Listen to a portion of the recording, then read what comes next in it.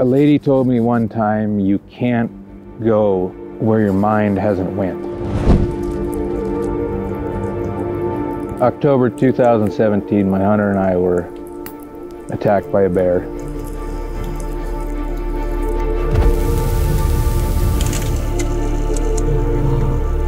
We left camp thinking we were going for a nice evening hunt. Finally shot her elk. I can remember telling her, this is great. We're only a mile from camp. We'll be back eating steak in, in an hour and a half.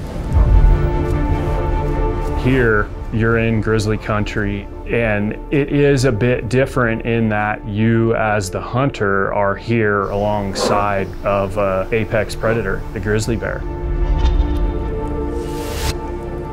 I was head down in an elk. He made the most perfect archery stock that you could ever do. The hunter seen the bear at full charge at about 25 yards. For such a large animal, they are so quiet. Most of the time you don't hear them coming up on you and then last second they got that, that speed, it leaves you split seconds to make a decision. He made two bounds to get to us. The bear hit me and then attacked her and then came back to me and then grabbed the elk and, and left. All he wanted was that elk. If he would have asked, we'd have gave it to him.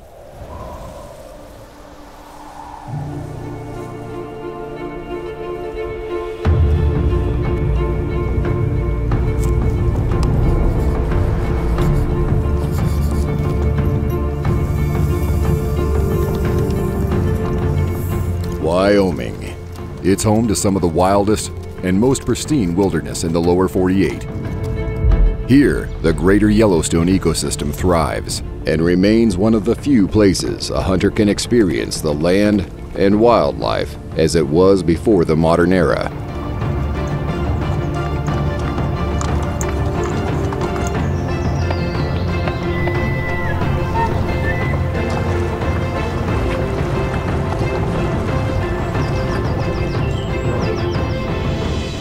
With these wild places come real dangers. Knowledge and preparation go a long way toward reducing risks and keeping people safe. For the professional outfitter and guide, safely hunting with clients in bear country is a serious undertaking that requires a strong awareness of bears and a thorough knowledge of their behavior and biology. We're seeing bears in places where we haven't seen bears in 100 years. In 1975, grizzly bears were put on the endangered species list, and they think that there was between 125 and 150 bears in the whole ecosystem. And since then, we've had a, a long, slow recovery, but now we have a lot higher densities of grizzly bears in the ecosystem and a, a much further distribution. It's really important for us to minimize conflicts and minimize human caused bear mortality.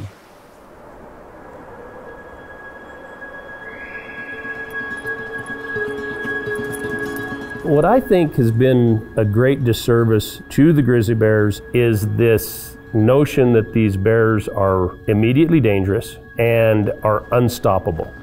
There's been a lot of bears injured and killed by folks that didn't understand the behavior that bear was exhibiting.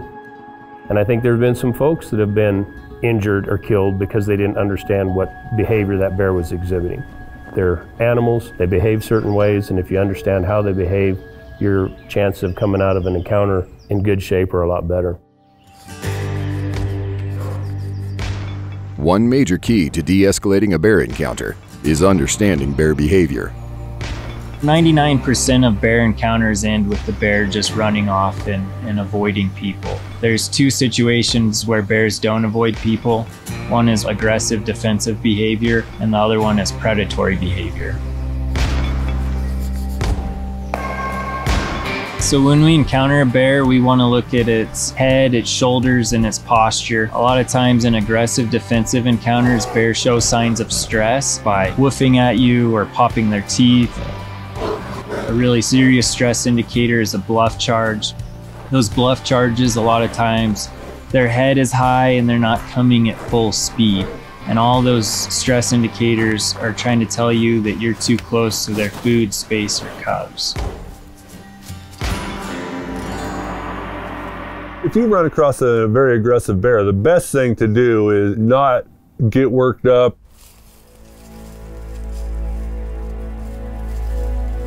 You try to run or get excited or make sharp moves or whatever, that could cause more aggression. If you run, then that kicks in their predatory instinct. In those situations is get your deterrent ready, stand your ground, and then when he gives you an opening, back off slowly. Keep your eye on him. You certainly never want to turn your back on him.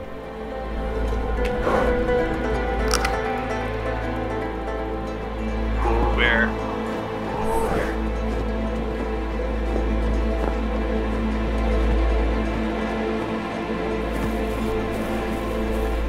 If a bear is exhibiting defensive behavior and makes contact before you can use a deterrent, drop and cover by lying flat on your stomach. Interlock your fingers and cover your neck. Protect your face and vital organs. Spread your legs shoulder width apart to prevent the bear from rolling you over.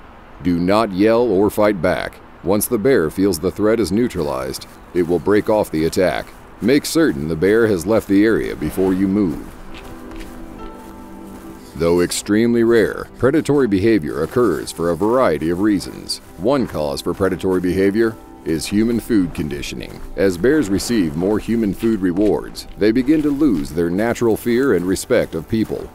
It's not very common, but those bears are much more bold and they don't show signs of stress.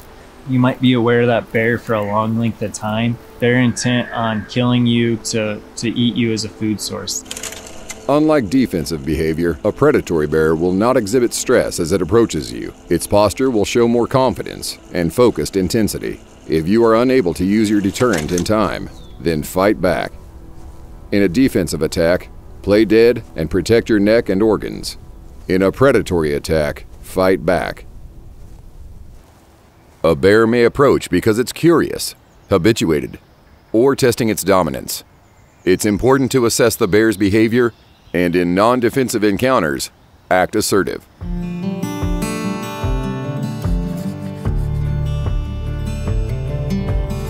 Bear spray is a tool in the toolbox. Firearms are a tool in the toolbox.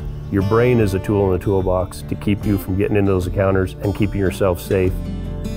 As a guide, make sure your client understands all tools available to them and how to use them. Go over some practice with them on how to pull the bear spray.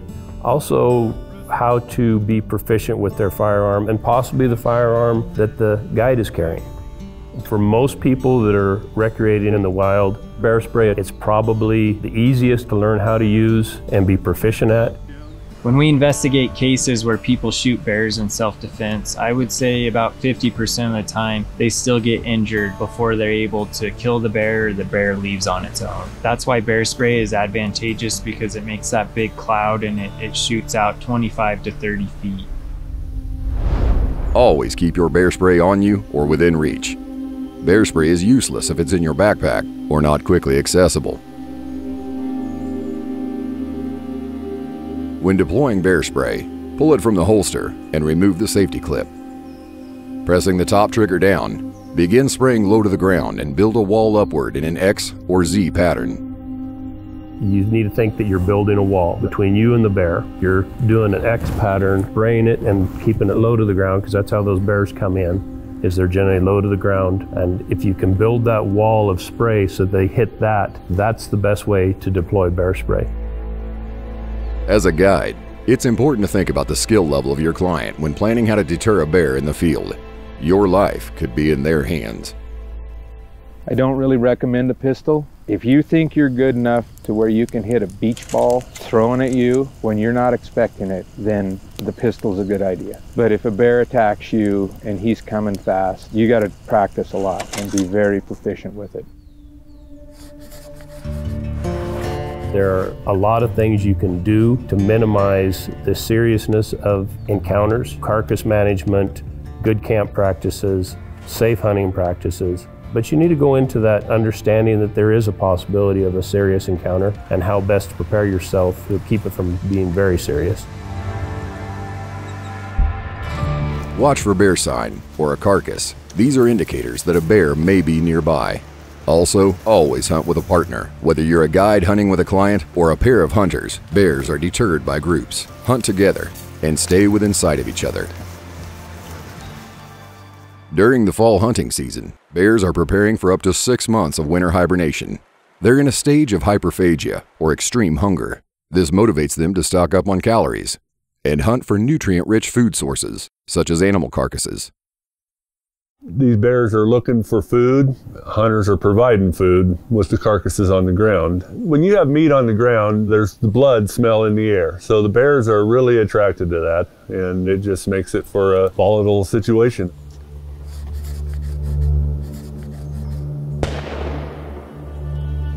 After a hunter makes a successful kill, the guide will begin processing the animal in the field while the hunter stands watch for any bears approaching. As a guide, this is one of the most vulnerable scenarios you can be in because you are relying on your client, who may have very little field experience to protect you against an impending bear encounter. Many of the recent bear related fatalities and injuries have happened during this exact moment. It's critical that you and your client have practiced and have a plan in place. That little bit of preparation could save you or your client's life.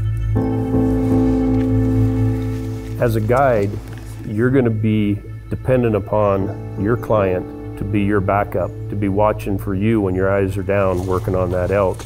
Guides need to practice and talk with their hunters about we're in bear country and this is what could happen and this is what we need to do. And do you know how to operate a pistol? Do you know how to operate bear spray? A hunter might shoot his rifle a hundred times. He's never pulled bear spray. It's a good thing to get that muscle memory to try and use it as much as we can.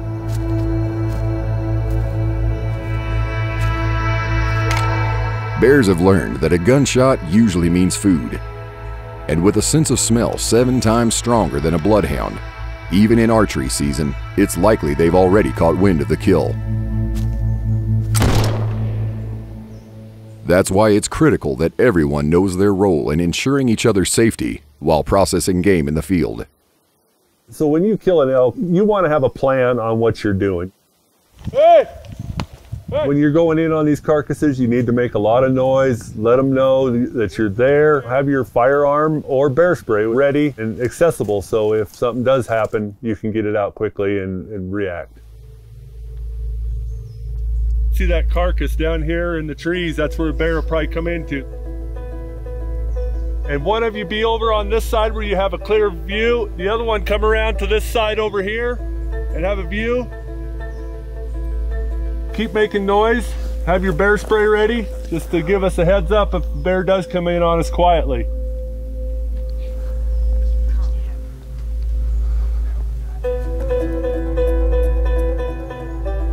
You need to know the lay of your land, the way the wind's blowing. The bears are typically going to come in from downwind where they can smell. As you are taking it apart, you're releasing more odor into the air, so the chances of a bear coming in increase. As a guide, you have a number of tools at your disposal to prevent a bear encounter. In addition to having your client keeping watch with firearm and bear spray ready, if you have horses with you, place them at different points around the kill. Horses are a great alarm and will identify a bear and alert much sooner than a human will. Horses also have a large presence and often discourage bears from approaching any closer. You know, if a bear comes in, they're going to perk up, they're going to snort, they're going to stomp, do something. So you can look for those signs to let you know. In addition to horses, if you can gather more people to the site, you can post them as additional lookouts. If a bear sees a group of people, they're more likely to keep a safe distance and wait for you to leave the area.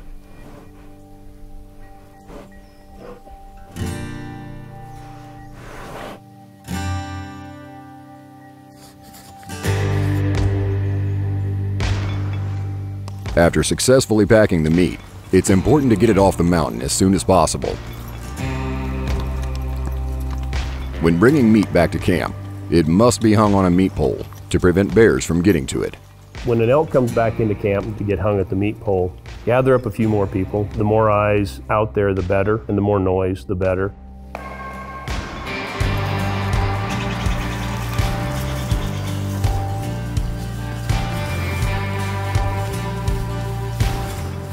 When the meat is hung, it must be hung a minimum of 10 feet high and 4 feet away from any vertical. Bears will be attracted to it, so the meat pole must be posted a minimum of 100 yards from camp. Everything's done correctly, the bears aren't going to get anything there, but the smell of that blood and the meat brings those bears into camp. We don't want bears hanging around camps, so we really encourage outfitters and hunters to get those carcasses packed out back to the trailhead and off the forest as quickly as they can. Elk meat isn't the only camp attractant for bears. Human food and garbage, as well as livestock feed, will draw bears in, looking for an easy food reward. The bears have a tremendous sense of smell, so if you're leaving food out or garbage or trash or whatever laying around, they're going to be able to sense that, come in, and if they do get a reward, they'll start associating food with people.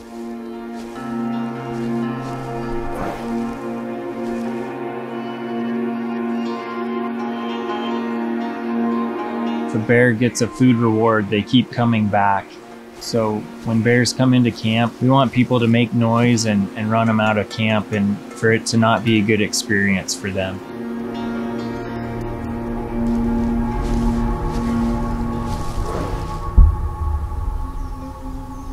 A clean camp is key. Guides and hunters need to manage the safe storage of food and animal feed. Using bear-safe containers and elevated storage helps prevent bears from being attracted to camp and gaining food rewards. We don't keep any food or anything in our sleeping tents. We have food storage containers. They're certified bear-proof. Our grain, our horse feed is all stored in a cache. It's hung up in a bear-proof area where they can't get to. Our trash bags out here, every night before we go to bed, they are hung to make sure there's no attractants or any reward for a bear to get in this camp.